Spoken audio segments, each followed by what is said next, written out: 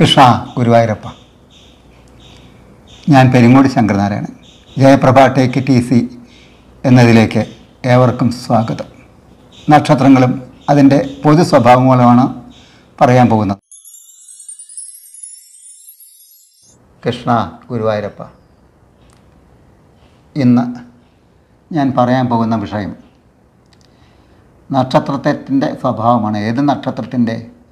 ഉത്രാട നക്ഷത്രത്തിൻ്റെ സ്വഭാവമാണ് പറയുന്നത് ഒരു നക്ഷത്രത്തിനൊക്കെ സ്വഭാവം ഉണ്ടോ വെച്ചാൽ ഉവ്വ് ചില നക്ഷത്രങ്ങൾ വളരെ ഉഷ്ണ പ്രകൃതിക്കാരാവും ചിലത് അത്ര ശക്തി കുറഞ്ഞ ശീത പ്രകൃതക്കാരുണ്ട് അങ്ങനെ നക്ഷത്രങ്ങൾ തന്നെ നമ്മൾ പഠിച്ചിരിക്കുന്ന എല്ലാ നക്ഷത്രങ്ങളൊക്കെ കരിഞ്ഞു പോകുന്നുണ്ട് പ്രകാശം കൊണ്ട് അതിൻ്റെ ബാറ്ററിയൊക്കെ തീർന്ന പോലുള്ളൊരു അവസ്ഥ സംജാതമാകാറുണ്ട് എന്ത് തന്നെയായാലും ഉത്രാട നക്ഷത്രം വളരെ നല്ലൊരു നക്ഷത്രമാണ് ഭയഭക്തി ബഹുമാനമുള്ളവരാണ് അതിൽ ജനിക്കുന്ന വ്യക്തികൾ അതായത് ഈശ്വര ഭയം അല്ലെങ്കിൽ ഗുരുനാഥനെ ഭയം ഭയം ഭക്തി ഇത് രണ്ടും ബഹുമാനം ഇത് മൂന്നെണ്ണം ഉണ്ടെങ്കിൽ മര്യാദക്കാരനായി അത് മൂന്നുമുള്ള ആളാണ് ഈ ഉത്രാടം നക്ഷത്രക്കാർ ഉത്രാടം നക്ഷത്രക്കാർക്ക് എങ്ങനെയായിരിക്കും അവരുടെ നക്ഷത്രത്തെ കണ്ട എങ്ങനെയിരിക്കും എന്നുള്ളത് നിങ്ങൾ മനസ്സിലാക്കേണ്ട ഒരു കാര്യമുണ്ട് രണ്ട് നക്ഷത്രങ്ങളുടെ കൂട്ടമാണ് ഈ ഉത്രാടം നക്ഷത്രം അതൊരു ആനക്കൊമ്പിൻ്റെ സ്വഭാവത്തിലാണ് കാണുക ആ രൂപത്തിലാണ് കാണുക ആനക്കൊമ്പ് കാണുന്ന പോലെ ആണ് ആകാശത്തിൽ ഉത്രാടം നക്ഷത്രം സ്ഥിതി ചെയ്യുന്നതെന്ന് സാരം ഉത്രാടം നക്ഷത്രം വലിയ കുഴപ്പമില്ലാത്തൊരു നക്ഷത്രമാണ് പൂരാടം നക്ഷത്രം നമ്മൾ പറഞ്ഞു കഴിഞ്ഞു ഉത്രാടം നക്ഷത്രത്തിനും ഏറ്റവും അധികം നമ്മൾ ആദ്യം നോക്കുന്ന ആൾ ഈ മനുഷ്യഗണമാണ് വിശ്വദേവതകളാണ് ദേവത പിന്നെ വായുവാണ് ഭൂതം പഞ്ചഭൂതം ഭൂതം എന്ന് പറഞ്ഞാൽ ചിലവർ പേടിക്കുക അതാ പറഞ്ഞു പഞ്ചഭൂതത്തിലൊന്നാണ് വായു പിന്നെ പുരുഷ യോനിയാണ് പിന്നെ കാളയാണ് മൃഗം പ്ലാ ഈ പ്ലാവ് നമ്മുടെ പ്ലാവ് ആണ് വൃക്ഷം പിന്നെ കോഴിയാണ് പക്ഷി പിന്നെ ഏകാരം എന്ന് പറഞ്ഞതാണ് അക്ഷരം വാകാരമാണ് മന്ത്രം അപ്പോൾ ഉത്രാടം നക്ഷത്രത്തിന് അതിൻ്റെ മോശമായ നക്ഷത്രം പുണർദമാണ് വേദനക്ഷത്രം പുണർദമാണ് എന്നാൽ വേദം ഉണ്ടെന്ന് പറഞ്ഞാൽ ഷഷ്ടാഷ്ടമാവണം സമസപ്തമത്തിൽ വന്നാൽ ഇതിൽ പറഞ്ഞിരിക്കുന്ന നക്ഷത്രങ്ങൾ വന്നാൽ അതിന് വലിയ ദോഷം വലിയ ദോഷത്തിന് കുറവുണ്ടെന്നാണ് പറയുക വേദനക്ഷത്രം ആയാലും ആ വേദത്തിന് കുറവുണ്ടെന്നുള്ളത് ചിലവർക്ക് വ്യാഖ്യാനിക്കാറുണ്ട് അതായത് എന്ന് പറഞ്ഞത് മിഥനത്തിലും കർക്കടത്തിലാവാം മിഥനത്തിലും ഉത്രാടം എന്ന് പറഞ്ഞ നക്ഷത്രം ഈ ധാനുവിലും വന്നു കഴിഞ്ഞാൽ ആ രണ്ട് നക്ഷത്രം സമസപ്തമായി നിൽക്കുന്നത് കൊണ്ട് അതിന് ദോഷം അധികമില്ല അതാണ് പറയാനുള്ളത് വേദത്തിൻ്റെ ദോഷം ഉണ്ടെങ്കിൽ അതിനൊരു കുറച്ച് കുറവ് കിട്ടും എന്നുള്ളതാണ് ഇപ്പോൾ വിവാഹം അപ്പോൾ ഈ രണ്ട് നക്ഷത്രങ്ങൾ എന്താ വേണ്ടതെന്ന് വെച്ചാൽ മറ്റു പല കുറച്ച് വരുത്തങ്ങളൊക്കെ ഉണ്ടെങ്കിൽ വേദല്ലേ എന്ന് പറഞ്ഞിട്ട് ഒഴിവാക്കണം അതാണ് വേണ്ടത് ഏകോപി വേദോ ഏകോപി ദോഷോ വേദാക്യ വേദം എന്ന് പറഞ്ഞൊരു ദോഷം ഉണ്ടെങ്കിൽ തന്നെ ബഹുവന്തി ഗുണാനു അനവധി ഗുണങ്ങളുണ്ടെങ്കിൽ പോലും അത് എടുക്കരുതെന്നൊക്കെയാണ് പ്രമാണം ഇപ്പോൾ നക്ഷത്രങ്ങളുടെ ഒരു കാര്യം ഇതിൽ പറഞ്ഞു പോയി എന്ന് മാത്രമേ അങ്ങനെ ഇങ്ങനെ ചില സമതത്വമായ അതിൻ്റെ ലാഘവത്വം അതിന് വരും എന്നുള്ളതാണ് പറഞ്ഞത് അതുപോലെ തന്നെയാണ് ഈ ഉത്രാടം നക്ഷത്രത്താണെങ്കിൽ അവർ വിശ്വസിക്കാൻ കൊള്ളാം വിശ്വാസവഞ്ചന ചെയ്യാൻ തയ്യാറില്ലാത്ത വ്യക്തികളാണ് ഈ ഉത്രാട നക്ഷത്രക്കാർ ഉത്രാട നക്ഷത്രത്തിൻ്റെ സ്വഭാവം പറഞ്ഞു ആനക്കൊമ്പ് പോലെയാന്ന് പറഞ്ഞു അതുകൊണ്ട് പേടിക്കേണ്ട ഒരു കാര്യമില്ല ആനയും ഇതും കൂടിയിട്ടൊരു ബന്ധമൊന്നുമില്ല ഒരു ആകൃതി പറഞ്ഞു എന്ന് മാത്രമേ ഉള്ളൂ ഉത്രാട നക്ഷത്രം രണ്ട് നക്ഷത്രങ്ങളിലായിട്ടാണ് കിടക്കുന്നത് ഒന്ന് ധനുക്കൂറ് മറ്റത് മകരക്കൂറ് മൂലം പൂരാടം ഉത്രാടത്തിൽ കാൽ എന്ന് പറഞ്ഞത് ധനുക്കൂറിലും ഉത്രാടത്തിൻ്റെ മുക്കാൽ ഭാഗം അത് മകരക്കൂറിലാണ് സ്ഥിതി ചെയ്യുന്നത് അതുകൊണ്ട് ധനുക്കൂറിൽ വ്യാഴത്തിൻ്റെ ആ ഒരു അംശം മകരക്കൂറിലാണെങ്കിൽ ചൊവ്വയുടെ ഒരു അംശം ഇതൊക്കെ ഈ ഉത്രാട നക്ഷത്രത്തിൻ്റെ ബാധകമാണ് രണ്ടിൻ്റെയും ഫലങ്ങൾ അവർക്ക് കുറേശ്ശെ കിട്ടുന്നതാണ് അപ്പോൾ അങ്ങനെ രണ്ട് നോക്കുമ്പോൾ രണ്ടും അത്ര മോശമല്ല ഇവിടെ ചൊവ്വയായാലും വ്യാഴമായാലും മോശക്കാരല്ല അതാണ് പറയുന്നത് കേട്ടോ അതുകൊണ്ട് എങ്ങനെയെങ്കിലും നന്നായിട്ട് ജീവിക്കാൻ ഇവർക്ക് വഴി തെളിഞ്ഞു വരുന്നുള്ള കാര്യത്തിൽ സംശയമില്ല നല്ല വിദ്യാഭ്യാസം ഇവർക്കുണ്ടാവാം ജനങ്ങൾ ബഹുമാനിക്കും രാഷ്ട്രീയത്തിലൊക്കെ ഇറങ്ങുകയാണെങ്കിൽ ഇവർക്കൊക്കെ ശോഭിക്കാൻ കഴിയും അതുപോലെ തന്നെ കലാപ്രവർത്തനങ്ങളിലായിട്ട് മുന്നോട്ട് പോയാൽ പൊതുവേദികളിലൊക്കെ തൻ്റെ പരിപാടികൾ അവതരിച്ച് അവർക്ക് ബഹുമാനവും വരുമാനവും കൂടും ബഹുമാനവും കൂടും വരുമാനവും കൂടും അങ്ങനത്തെ ആൾക്കാരാണ് ഈ ഉത്രാടം നക്ഷത്രം ക്ഷണം കൊണ്ട് കാര്യങ്ങൾ മനസ്സിലാവും ചില കാര്യങ്ങളൊക്കെ മാജിക് കണ്ട അതിൻ്റെ എന്താണ് അതിൻ്റെ സൂത്രം എന്ന് മനസ്സിലാവാറില്ല ചില ആൾക്കാരെ ഡെന്നുള്ളത് അത് കണ്ടുപിടിക്കും അതിനൊക്കെ അങ്ങനത്തെ കഴിവുള്ള വ്യക്തികളാണ് ഉത്രാട നക്ഷത്രക്കാർ സ്ത്രീകളും ഒട്ടും മോശമല്ല മിടുക്കികളായിരിക്കും സത്സംഗം ഇവർക്ക് നല്ലൊരു കാര്യമാണ് ഭർത്താക്കന്മാരെ ഉത്രാട നക്ഷത്രക്കാർ സ്നേഹിക്കും ഇടയ്ക്ക് അലറ ചിലറ കലഹങ്ങളൊക്കെ ഉണ്ടെങ്കിലും അതൊരു ദിവസത്തെക്കാളും കൂടുതൽ നിൽക്കില്ല പൊതുവേ അവരുടെ ദാമ്പത്യം നന്നായിരിക്കും സൽസന്താന ഭാഗ്യം അവർക്കുണ്ടാവും പുരുഷ സന്താനങ്ങൾ അടക്കുണ്ടാവും എന്നുള്ളതാണ് ശ്ലോകം എന്ത് വിചാരിച്ചാലും പാചകലകളിൽ വിദഗ്ധകളായിരിക്കും ഉത്രാട നക്ഷത്രക്കാർ കാരണം ഉത്രാട നക്ഷത്രമായി കഴിഞ്ഞാൽ പാചകമൊക്കെ അറിയണവരാവണം കാരണം വിഷുവൊക്കെ കാല ഓണക്കാലൊക്കെ വരുമ്പോൾ ഉത്രാട നക്ഷത്രക്കാർക്ക് അതിൻ്റേതായ ധൃതി ഉണ്ടാവും നന്നായി പാചകം ചെയ്യേണ്ട അവസ്ഥ സംജാതമാകും എന്തു തന്നെയായാലും ഇവർ നല്ല പാചകക്കാരായി തീരാൻ വഴിയുണ്ട് ഉത്രാട നക്ഷത്രക്കാർ ആരെയും പുച്ഛിച്ച് തള്ളാറില്ല അവർ അഭിമാനികളാണ് ഈശ്വരവിശ്വാസികളാണ് ഗുരുഭക്തിയുള്ളവരാണ് ഇതൊക്കെ ഉത്രാട നക്ഷത്രത്തിൻ്റെ ഒരു പ്രത്യേകതയാണ് ഉത്രാട നക്ഷത്രത്തിന് സുഹൃത്തുക്കൾ ധാരാളം ഉണ്ടാവും പക്ഷേ ധാരാളം ഉണ്ടെങ്കിൽ അവർ നിന്ന്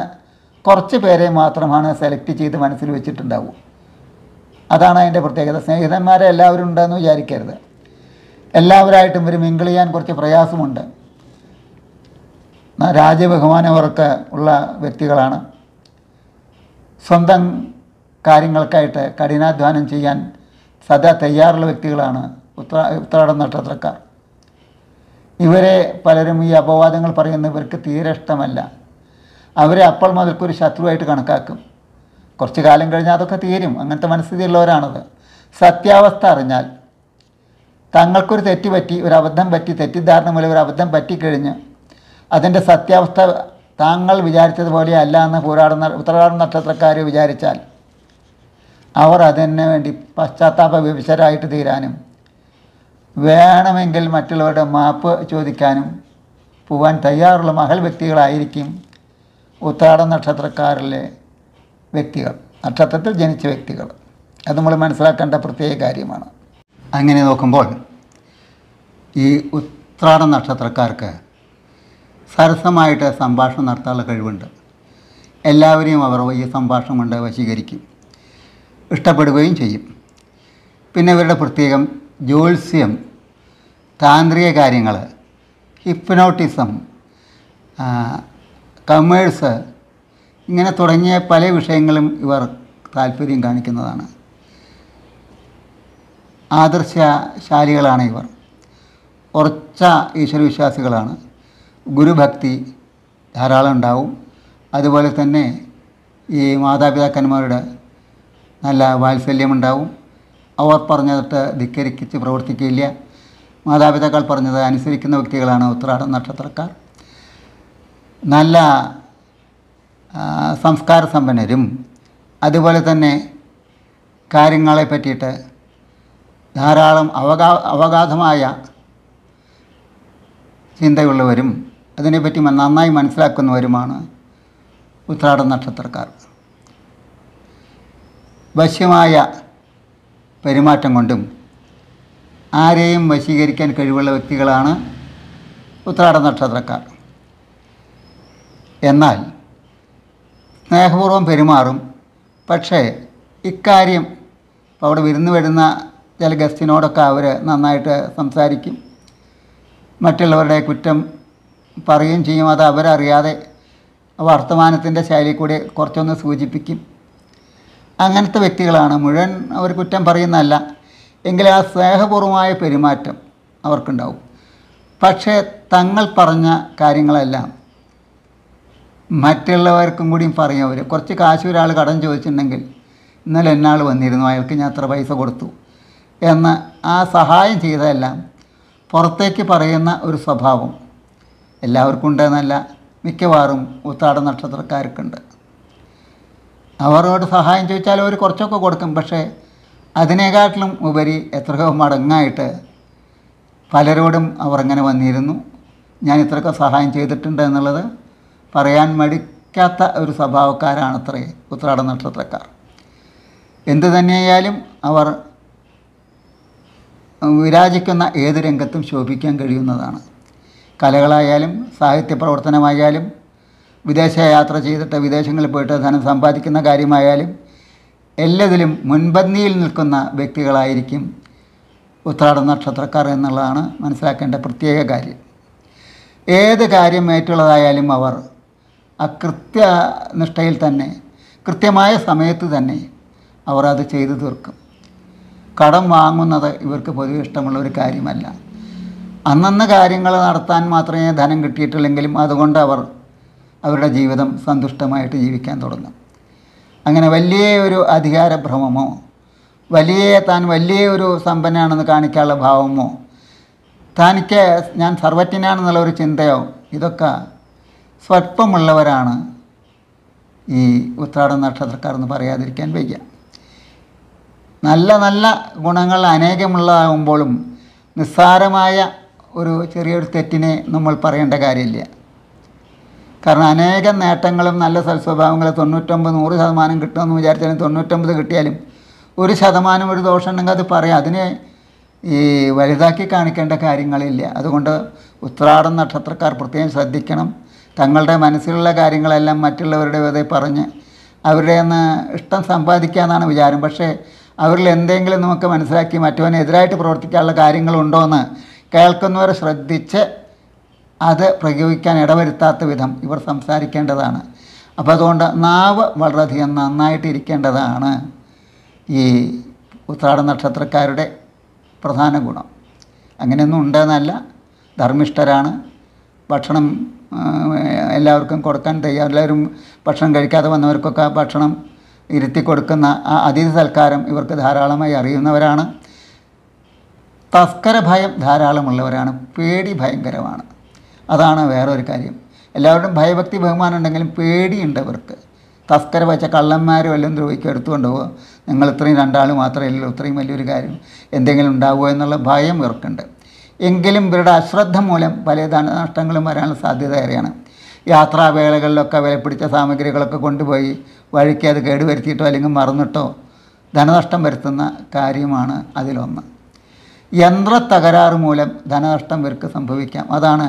ഈ ഉത്രാട നക്ഷത്രക്കാരുടെ ഒരു ദോഷകാര്യം അവരുടെ നക്ഷത്രം അനുഭവിക്കുന്ന കുഴപ്പം കാരണം ഇതൊക്കെ നക്ഷത്രത്തിൻ്റെ സ്വഭാവത്തെ അടിസ്ഥാനപ്പെടുത്തി പറയുന്നതാണ് കേട്ടോ ഉത്രാട നക്ഷത്രമൊക്കെ എങ്ങനെയുണ്ട് എത്രത്തോളം പ്രഭണ്ട് എങ്ങനെ നിൽക്കുന്നു എന്തൊക്കെയാണ് അതിൻ്റെ പ്രത്യേകത എന്നുള്ളതിനെ പറ്റി മനസ്സിലാക്കിയിട്ട് അതെന്ന് നമുക്ക് അനുഭവപ്പെടുന്ന ചില ഫലങ്ങളും കൂടി പറയുന്നു എന്ന് മാത്രമേ ഉള്ളൂ എന്തായാലും ഇത് മാത്രമല്ല അവർക്ക് സൽഗുണങ്ങൾ പലതുമുണ്ട് ചെയ്യും മുമ്പ് ഒരു കാര്യം ചെയ്യും മുമ്പ് ഒരു നൂറ് പ്രാവശ്യം അതിനെ പറ്റിയിട്ട് ആലോചിക്കും അതിൻ്റെ വരും വരായികളെ പറ്റി ചിന്തിക്കും നന്നായിട്ട് വിശകലനം ചെയ്യും അതിന് ശേഷം മാത്രമാണ് അവർ ആ തീരുമാനത്തിൽ എത്തിച്ചേരൂ ഒരു വേണോ വേണ്ടെന്നുള്ള എന്നുള്ള ഒരു ഉറച്ച തീരുമാനം കിട്ടാൻ വേണ്ടിയിട്ട് അവർ ഇത്രയും സമയം ചെലവഴിക്കും അവരുടെ ബുദ്ധി ചെലവഴിക്കും ഇപ്പോൾ വളരെ വട്ടം ആലോചിച്ചതിൻ്റെ ശേഷം മാത്രമാണ് ഇവർ തീരുമാനം എന്നുള്ള ആ നല്ലൊരു ഗുണം ഇവരെ ജോലിച്ച് വെച്ച വ്യക്തികൾക്കും കൂടി അത് ബാധകമായിരിക്കും അവർക്കും ആ ഗുണം കിട്ടും ജോലി ചെയ്യാൻ പൊതുവെ മടിയുള്ളവരാണെങ്കിലും ഇവർ കഠിനാധ്വാനം ചെയ്യേണ്ട യോഗമാണ് ഇവർക്കുണ്ടാക്കുക അത് നമ്മൾ ശ്രദ്ധിക്കേണ്ട ഒരു കാര്യമാണ്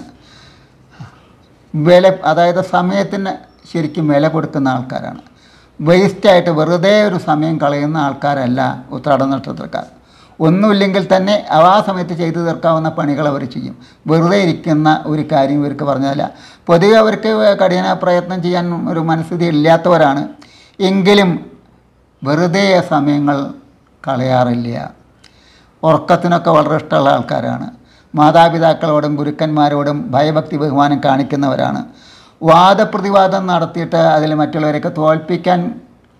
ഇവർക്ക് ഇവരെ തോൽപ്പിക്കാൻ മറ്റുള്ളവർക്ക് കഴിയില്ല വാദപ്രതിവാദങ്ങൾ നടത്തിയിട്ട് വിജയിക്കാൻ ഉത്രാട നക്ഷത്രക്കാർ ബഹുമിടുക്കന്മാരോ മിടുക്കുകളോ ആയിരിക്കും അവർ പുരാണ കഥകളിലൊക്കെ ഇവർക്ക് വളരെ താല്പര്യം ഉണ്ടാവും അത് വിചാരിച്ചിട്ട് ഭക്തി പ്രഭാഷണങ്ങളൊക്കെ പോയിട്ട് സ്ഥിരം കേൾക്കാൻ തുടങ്ങിയാൽ ഇവർക്ക് ചില ആപത്തുകളൊക്കെ ഉണ്ടാവാൻ സാധ്യതയുണ്ട് എല്ലാവരും ഇന്ന സമയത്ത് പോയിട്ട് ഇന്ന സമയത്ത് ഇത് കഴിഞ്ഞിട്ടേ വരൂ അറിഞ്ഞ് കള്ളന്മാരൊക്കെ വീട് ആക്രമിച്ച കഥകൾ ഉണ്ടായിട്ടുണ്ട് അതായാലും നമ്മൾ മനസ്സിൽ പ്രത്യേകം ശ്രദ്ധിക്കേണ്ടതാണ് പിന്നെ ഈ ഗ്രഹഭരണത്തിൽ ഉത്രാടം നക്ഷത്രത്തിലെ സ്ത്രീകൾ ബഹുമിടുക്കികളാരാണ് മിടുക്കികളാണ് പാചകല അവർക്ക് അറിയാം ഭയങ്കര ഈശ്വരവിശ്വാസികളാണ് വിദ്യാഭ്യാസപരമായിട്ട് ഇവർ ഇടയ്ക്കൊരു ബ്രേക്ക് വന്നാലും അതിനെ അതിജീവിച്ച് ഇവരുടെ സ്വന്തം അധ്വാനം കൊണ്ടും പ്രയത്നം കൊണ്ടും ഇവർ വിദ്യാഭ്യാസത്തിൽ നല്ല യോഗ്യതകൾ കൈപ്പറ്റാവുന്ന നക്ഷത്രക്കാരാണ് ഉത്താട നക്ഷത്രക്കാർ അതുകൊണ്ട് ഈ സാമ്പത്തിക മേഖലയിലും ജ്യോതിഷ മേഖലയിലും ഇവർക്കൊക്കെ ശോഭിക്കാൻ കഴിയുന്നതാണ് എന്നാണ് എൻ്റെ അഭിപ്രായം എന്തു തന്നെയായാലും നമ്മൾ ഇവരുടെ കാര്യത്തിൽ ഉത്രാട നക്ഷത്രക്കാരെ സമീപിക്കുമ്പോൾ നമ്മൾ ഓടുന്ന നായ്ക്ക് ഒരു മുഴം മുമ്പ് എന്ന് പറയുന്ന പോലെ തന്നെ കൂടുതൽ ശ്രദ്ധിക്കണം അവരെന്തിനാണ് ഭാവിക്കുന്നത് നമ്മളെയൊക്കെ സഹായം ചെയ്യോ എന്തായാലും നമ്മൾ കൂടുതൽ ജാഗ്രത പാലിക്കേണ്ട വ്യക്തികളായിട്ടിരിക്കും എന്ന് മനസ്സിലാക്കുക അതാണ് ഇവരിൽ നിന്ന് നമുക്ക് ശ്രദ്ധിക്കേണ്ട ഒരു കാര്യം പൊതുവെ നല്ല സന്മാർഗീയ പ്രവർത്തനങ്ങളിൽ മുഴുകുന്നവരാണ് ഇവർ അസാന്യ അസാന്മാർഗീയമായിട്ട് പ്രവൃത്തികളൊക്കെ വളരെ ഒരു പെർസെൻറ്റേജ് ഒറ്റ ചെയ്തു എന്ന് മാത്രമേ ഉണ്ടാവൂ മറ്റ് തൊണ്ണൂറ്റൊമ്പത് ശതമാനം ഗുണങ്ങൾ വിതരണം ചെയ്യുന്ന ഗുണകാംക്ഷികളാണ് അന്യരെ സഹായിക്കുന്നവരാണ് ബുദ്ധിശാലികളാണ് എടുത്ത തീരുമാനങ്ങളിൽ നിന്ന് വ്യതിചലിക്കുന്ന പ്രകൃതക്കാരല്ല ദാമ്പത്യയുധം സുന്ദരമായിരിക്കും ഇത്യാദി കാര്യങ്ങളെല്ലാം നമ്മൾ പറഞ്ഞു കഴിഞ്ഞാൽ ഈ ഉത്രാട നക്ഷത്രക്കാരുടെ സാമാന്യ സ്വഭാവം നമുക്ക് മനസ്സിലാക്കാം ഉത്രാട നക്ഷത്രത്തിൻ്റെ സാമാന്യ സ്വഭാവം നമുക്ക് മനസ്സിലാക്കാം ഞാൻ ഈ ഒരു നക്ഷത്രത്തെ പറ്റിയിട്ട് പറഞ്ഞു എന്നേ ഉള്ളൂ മിക്ക നക്ഷത്രങ്ങളുടെയും സ്ഥിതി ഇത് തന്നെയാണ് അതൊരു പൊതുഫലങ്ങൾ ആ നക്ഷത്രത്തെ പറ്റിയിട്ട് ഒരു പൊതുഫലം മാത്രമാണ് പറയുന്നത് വ്യാഴത്തിൻ്റെ ദൃഷ്ടി അല്ലെങ്കിൽ അതിൻ്റെ സ്വക്ഷത്ര സ്ഥിതി വേറെ ശുഭഗ്രഹങ്ങളുടെ ദൃഷ്ടി ഓരോന്നിനും ശക്തി ഉണ്ട് ബലം ഉണ്ട് ഏത് തന്നെ നോക്കുന്ന ദൃഷ്ടി എന്നവരൊക്കെ ഇവിടുന്ന് നോക്കുന്നവരാണ് എത്രത്തോളം ശക്തിയുള്ള ഗ്രഹങ്ങളാണ് മോശമായ ഗ്രഹങ്ങളാണ് ആപത്തിൽ തരുന്നതാണോ നല്ലത് തരുന്നതാണോ ഗ്രഹങ്ങളുടെയൊക്കെ ദൃഷ്ടിയുണ്ടോ എന്നുള്ള കാര്യങ്ങളൊക്കെ നോക്കണം അതൊക്കെ ജാതകം നോക്കിയാൽ മാത്രമാണ് അത് ശരിയായിട്ട് നമുക്ക് മനസ്സിലാക്കാൻ കഴിയുള്ളൂ അതും പറ്റാത്തവരെ വല്ല ബാധാശല്യങ്ങൾ ദൃഷ്ടിദോഷങ്ങളോ ബാധാശല്യങ്ങളോ ഞാൻ പോയി എൻ്റെ അത് നേടിയെടുക്കുന്നതിനൊക്കെ സാധാരണഗതിയിൽ മനസ്സിലാക്കാൻ പ്രശ്നം എന്നുള്ളൊരു വിഷയം ചെയ്യാറുണ്ട് അങ്ങനെ പലതും വലിയ വലിയ ശാസ്ത്രങ്ങളായിട്ടാണ് അത് വളരെയധികം പുരോഗമിച്ച ഒന്നാണ് ഈ പ്രശ്നം ചെയ്യുന്ന കാര്യം പ്രത്യേകിച്ചും കേരളത്തിൽ അഷ്ടമംഗല പ്രശ്നം പ്രശ്നത്തിൻ്റെ കാര്യത്തിലാണ് പലരും നോക്കിയിട്ട് തീരുമാനമെടുക്കുക ജാതകത്തിലൊരു നക്ഷത്രത്തെ പറ്റി ഇരുപത്തിയേഴ് നക്ഷത്രങ്ങളിലൊന്ന് ഒന്ന് എന്നുള്ള ധാരണയായിട്ടുള്ളവർക്കെല്ലാം അഭിപ്രായങ്ങളോ ഫലങ്ങളോ ശരിയായിക്കൊള്ളുന്നില്ല അതിനാണ് നമ്മൾ ജാതകം പരിശോധിക്കുക ദശാസന്ധിയുള്ള കാലമാണോ ഉച്ചുള്ള രാശിയിലത്തുള്ള ഗ്രഹത്തിൻ്റെ ഭരണമാണ് വരാൻ പോകുന്നത് അങ്ങനെ പല കാര്യങ്ങളും ജാതകം നോക്കിയിട്ട് നമുക്ക് മനസ്സിലാക്കാം എത്രാമത്തെ ദശയാണ് നൈസ പല ദശകളുണ്ട് ഒരു ദശ മാത്രമല്ല നക്ഷത്രദശ മാത്രമല്ല കാലചക്രദശ ഉൽപ്പന്ന ദശ മഹാദശ ആധാന ആധാനദശ നൈസർഗ്യദശ എന്ന് പറഞ്ഞുകൊണ്ട് വിംശോക്തിരി ദശ അങ്ങനെ അനവധി ദശകളുണ്ട് ഓരോ ദശകൾക്കും വ്യത്യസ്തമായ ഫലങ്ങളാണ് ഇതെല്ലാം നോക്കിയിട്ട് വേണം ഒരാളുടെ ഫലങ്ങൾ പറയാൻ അല്ലാണ്ട് ഒരു നക്ഷത്രത്തെ മാത്രം അടിസ്ഥാനത്തിൽ പറയുന്നത് സത്യം പറഞ്ഞാൽ അത് പോരാത്തൊരു കാര്യമാണ് നക്ഷത്രങ്ങളെ പറ്റി പറയൽ മാത്രമല്ല ഇതിൽ ഉദ്ദേശം കൊണ്ടിരിക്കുന്നത് സ്വഭാവങ്ങളെ പറ്റിയിട്ടാണ് പറയുന്നത് അതിന് പ്രശ്നം നോക്കണം ജാതകം നോക്കണം പ്രശ്നത്തിൽ കണ്ടു കഴിഞ്ഞാൽ അത് നമുക്ക് തൽക്കാലം ഒരു കൊല്ലത്തെ ഫലമാണ് ജാതകത്തിലെ ആണെങ്കിൽ ത്രൂ ഔട്ട് ലൈഫിലത്തെ കാര്യമാണ് പറയാൻ പോകുന്നത് പിന്നെ ചാരവശാൽ നോക്കുമ്പോൾ കണ്ടകശനിയാണ് ഏഴരശനിയാണ് അട്ടമത്തെ ശനിയാണ് വ്യാഴം പഴയാണ് എന്നൊക്കെ പറഞ്ഞുകൊണ്ട് നമ്മൾ ചെയ്യാറുണ്ട് അതൊക്കെ ഓരോരോ നക്ഷത്രത്തിനും അനുസരിച്ച് പറയുന്ന കാര്യങ്ങളാണ് വ്യാഴാണെങ്കിൽ ജന്മേ രാമ വന ശ്രീരാമന് വനവാസം വേണ്ടിയതാണ് അഷ്ടമേ ഹരിതോ ഭാര്യ ഭാര്യയ്ക്ക് ഒളിമ്പ് കൊണ്ട് മരിക്കേണ്ടി വന്ന അഷ്ടമത്തിൽ നിൽക്കുമ്പോഴാണ് ഷഷ്ടേ മാബലി ബന്ധനം അങ്ങനെയൊക്കെ ഓരോന്നും ഈ ചില പ്രത്യേക കാര്യങ്ങളൊക്കെ ബ്രഹ്മാവിന് മൂന്നില വ്യാഴം നിൽക്കുമ്പോൾ ബ്രഹ്മാവിന് തല പോയി എന്നല്ലാണെങ്കിൽ പാണ്ഡവർക്കൊക്കെ ദോഷം സംഭവിച്ചു അങ്ങനെ ദ്വാദശയെ രാവണോ ഹന്തി പന്ത്രണ്ടിൽ വ്യാഴം നിന്ന് കഴിഞ്ഞാൽ രാവണൻ മരിച്ചു പോകുന്നു ഇങ്ങനെ പല കാര്യങ്ങളും നമ്മൾ പറഞ്ഞും കൊണ്ട് ഒരു അഭിപ്രായത്തിൽ എത്രയാണ് യഥാർത്ഥ ജ്യോത്സ്യം അല്ലാണ്ട് ഒരു നക്ഷത്രത്തെ മാത്രം പറയുന്നത് അതിൻ്റെ സ്വഭാവത്തെ പറ്റിയിട്ട് കാണിക്കുന്നു ആ സ്വഭാവം ചിലരിലെങ്കിലും പ്രതിഫലിച്ച് കാണാം എന്നുള്ളൊരു സാധ്യതയെപ്പറ്റി മാത്രമാണ് കൊണ്ടിരിക്കുന്നത് അപ്പോൾ അങ്ങനെ ആ നക്ഷത്രങ്ങൾ പറഞ്ഞത് എല്ലാം സംഭവിക്കുന്നു എന്നല്ല നക്ഷത്രക്കാരുടെ ഒരു സ്വഭാവം അതാണ് ഇവിടെ പറഞ്ഞത് നന്ദി നമസ്കാരം